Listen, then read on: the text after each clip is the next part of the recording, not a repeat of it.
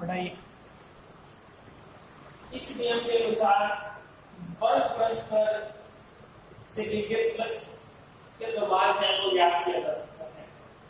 इसके अनुसार किसी बल पृष्ठ से विद्युत कुल फ्लक्स का मान वहाँ उपस्थित आवेश तथा विद्युत की विद्युतशीलता के अनुपात के बराबर होता है।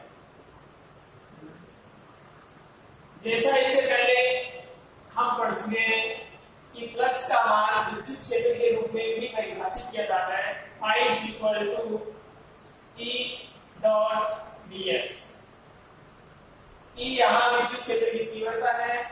डीएस उस बंद भाग में लिया गया अल्पांश अल्प क्षेत्र बल है। तो इन दोनों से दोनों की एनर्जी बराबर है, इसलिए दोनों की आरएचएस बराबर है।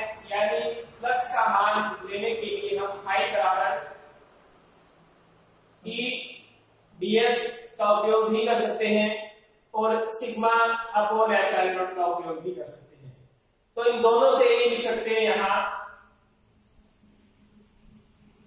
E dot DS is equal to sigma Q upon epsilon naught यहाँ से पता चल रहा है कि बल्ब फ्लक्स से गुजरने वाले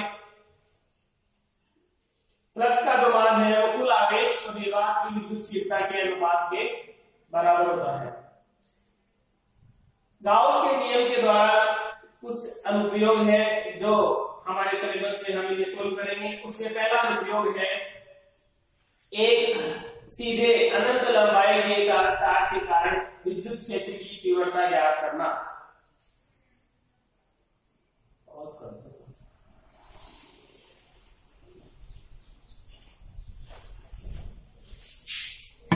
कर दो।